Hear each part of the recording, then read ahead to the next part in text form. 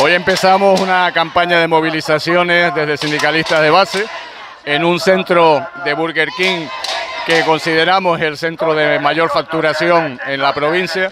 una empresa con más de 15.000 trabajadores y más de 630 millones de euros de facturación está en el ranking número uno de incumplimientos laborales y de vulneración de la libertad sindical los requerimientos y las sanciones de la inspección de trabajo son constantes y ha llegado el momento de combinar la vía de la acción ante la inspección de trabajo y la jurisdicción social a las movilizaciones a las puertas de los centros de trabajo. Hoy empieza aquí con esta manifestación en el Burger King Chafira y la intención es iniciar una campaña de movilizaciones en todas las provincias, siendo sindicalista de base, un sindicato con representación y mayoría en provincias como Madrid, Cádiz,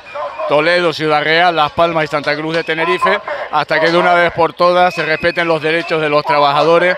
y la libertad sindical de la permanente hostigamiento y represión que sufre nuestra representación sindical en la empresa.